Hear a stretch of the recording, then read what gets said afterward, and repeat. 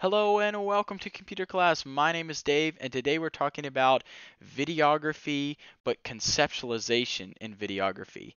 Um, so what is conceptualization? Well, it's it's basically that. It's it's to birth an idea or to come up with an idea and to um, develop a plan to put it into existence.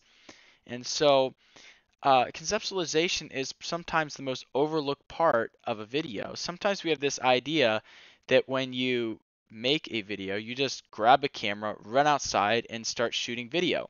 That's not a good idea.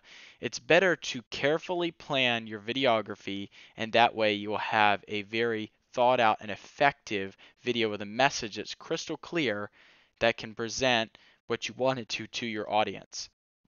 And so, let me give you several tips for conceptualizing your video to start out with in videography. The first is understand. Think through all of the details. Have a clearly defined purpose and goal. And I think that's probably the reason most people fail to get decent videos off the ground is they don't have a good goal. They just wing it and do whatever. But I guarantee you, all of the great YouTube videos out there and all of the um, great works of cinematography um, in video form have all started with incredible planning and careful drawing out of the script and everything that we're going to talk about in these subsequent lessons. And as a result, there was a great video produced. So, to have a clearly defined purpose or goal, write down your idea. It should not be longer than 30 words. Don't write some complicated, huge paragraph, but write your idea down. And it, this forces you to think uh, through your idea from beginning to end in, a way that can't be done behind the camera. And that way you you flesh it out and you get your idea on paper and then you're like, "Oh, now I have a clear understanding of where I'm going." And you can kind of build the framework of your film around that idea. Answer questions like, "What do I want my audience to think or do or know by the end of this presentation?" In other words, what's the call to action when this thing finishes? Is it that they buy a product? Is it that they go see a movie? Is it a trailer? You know, like what is it? What's the purpose?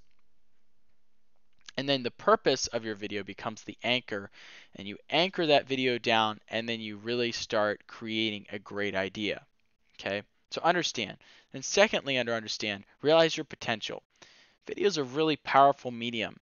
Um, it's it's powerful for uh, for one reason. It's emotional like have you ever watched a film and and just bawled, cried about it? Um, have you ever watched a film and you felt angry or frustrated, or maybe you felt sympathy towards someone in the film? All of these things are stuff you understand subliminally about the film, and that's what makes it really, really a good movie. And so realize that when you're creating something for someone else to see, you need to write into the video. It shouldn't just be like plastic, like whoop, whoop, like nothing happened, but write into the video emotion and feeling and what the characters are going through, and that will create realism in your films that you create. Even your um, simple, small films that you create, it will create more realism in them. Letter C, understand your audience. So, what's the age demographic of your video? How old are the people watching the video? Ask yourself, how do I connect with this person? How do I reach them where they're at? What are they feeling? What's their economic status? Do they have um, something going on in their lives that I need to address in this video? That would be an important detail that if I overlook, the person would think I'm insensitive all of these things create an understanding as to is this a great film or is it a okay film once you create it. And then letter D, understand your limitations. In every case, when you're creating a video, you have a limited budget, more than likely. How much are you going to spend on the video? You have a certain amount of time, and you have a deadline. You got to get it done. So, what's the deadline? Um, and you need to write these down in a spreadsheet and kind of lay them out for yourself and say, this is what I've got. Uh, what equipment do you have? Uh, can you shoot multiple shots at the same time? A lot of times, videographers will save time by doing this. They'll they'll stick different angles. They'll stick you know a GoPro in a car, or some sort of uh, DSLR in a car, but they'll also have the high res footage from above, and they'll get multiple shots of the car blowing up at once. I mean, you can't just blow up a car like 15 times. You only got one car, right? And once it's blown up, it's blown up. You can't put it back together. So, what's the equipment you need to shoot multiple shots at the same time? potentially. What's your runtime? How long can the video be?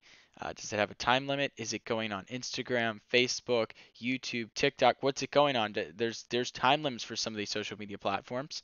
If you were to make a video for those, um, what's your context? Is it playing in a place like a church or a funeral? I mean, that would kind of dictate a different approach to the video, and sometimes context actually ruins a video. To be honest, Sometimes you will rule out an idea for your video simply because it doesn't fit the context. If something's inappropriate, for instance, and doesn't fit the context, then maybe you should not make it. In fact, I would highly recommend you not make it at that point. So again, there should be some understanding. The second thing is team. Tell the vision to a group. You need a team to succeed in every area of life. And when it comes to conceptualization, this becomes more and more real. So develop a creative team. You can bounce ideas off of someone that uh, people that are around you that will encourage you and create momentum to the idea and that they won't they will kind of foster it and you'll laugh and you'll cry and you'll uh, go through the struggle of creating and birthing this film together okay so some something to remember about this is that there's no i in team team is a group and so everybody has to work together when it comes to a creative team. Working with people, sometimes people have this idea that they, um, sometimes people with an idea are the hardest to work with because they can't accept suggestions. It's really difficult for people who have a great idea to maybe change that idea just a little bit and associate a suggestion for someone in the group. But everybody in the group should seemingly create, uh, be able to contribute and that's conceptualization. The power and the synergy of a team is more creative than one brain and one individual just sitting there in their mama's basement. Don't let people stand around.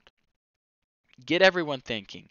Give them a task. Some some of you guys are more natural born leaders, and when it comes to videography and conceptualization of a film, um, you have more ability to lead the team then maybe you know you should be put in charge of the team.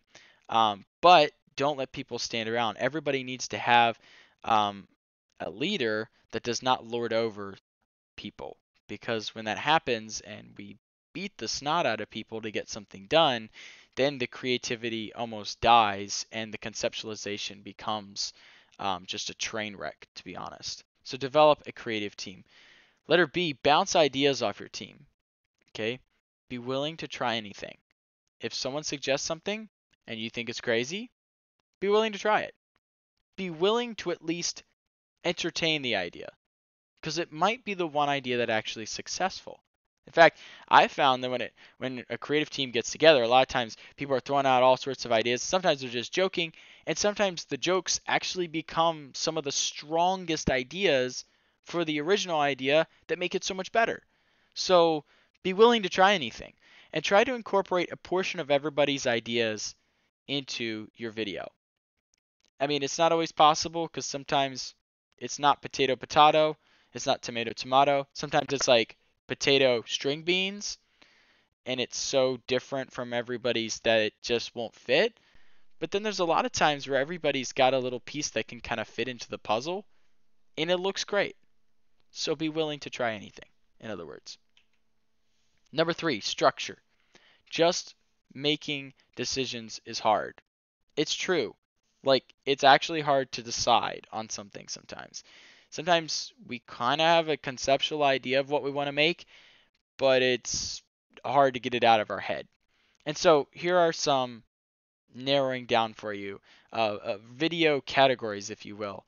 Uh, so when it comes to filmmaking, you can make a narrative video, uh, it's basically a video that states, do you want to tell a fictional or non-fictional story?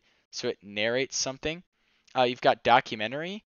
Do you want to tell a story rooted in reality, exploring people, places, events, history, and ideas? So the documentary could be about something that's occurring right now or something from the past. Do you want to do something like a voiceover film where you have this cinematic feeling and you're trying to get people to think about a specific idea? Do you want to record uh, do do you want a recording of someone's voice in the background talking all the time and explaining the film and it's not really anybody on the film explaining it but it's someone in the background explaining it is the idea behind that type of film. Do you want a corporate video? Do you want to create a how-to video or a video about a corporation or group that inspires you to join? Uh, again lots of different things there. Do you want a commercial? Are you trying to sell a product? Or do you want a trailer? Do you want to attract people to watch a movie? Or do you want to make a movie uh, or a pro- or promotional video for an event. And the list could go on and on and on and on and on. There's so much power with video. There's so many things you can create with video. Don't stop there. The real answer is what's the question you want to answer and it's what the type of video do you want to. So look up the different types of video and decide on one because that's incredibly important. So here's a project for you um, to do. Um, First, write down a 30 word description of your video idea. This statement should include the purpose of uh, or why you are trying to accomplish or what you are trying to accomplish through the video. So the purpose or what you're trying to accomplish in the video it should include the basic plot, the characters, maybe some of the theme, the target audience. So you could write down uh, a 30 word description of the video. So for instance, if I wanted to do a video about uh, a product, for instance, like Coca Cola, I might start out by writing down a description that we're going to shoot you know, a bottle of Coke and describe how good it tastes and yada yada yada, on and on and on about the product, and that we're going to have beads of sweat dripping down the bottle and someone picking it up and unscrewing the cap and throwing it down their throat. You know, whatever describe what's going to happen in the in in the video in 30 words or less okay? And that would be the basic plot of that commercial. There's not really much more to a coke commercial than that if you noticed. Um, number two choose the type of video um, to make from the list below. Maybe make a promotional video for a product that doesn't exist. Maybe make a movie trailer. And the reason I've selected these is because they're easier to start out with for young videographers. So pick from maybe this list of three, and you'll get yourself an easy win, and then you can move on to harder things. Promotional video for a product that doesn't exist, a movie trailer for a movie that hasn't come out yet. And this is kind of just as a fun project to do. Or number three, a promotional video for maybe a school event or maybe a group that you're a part of. And so I, I think that that will get you started in the conceptualization idea for videography. And hopefully, you have learned something today that you can apply to your skills as a cinematographer. And I will see you in the next video.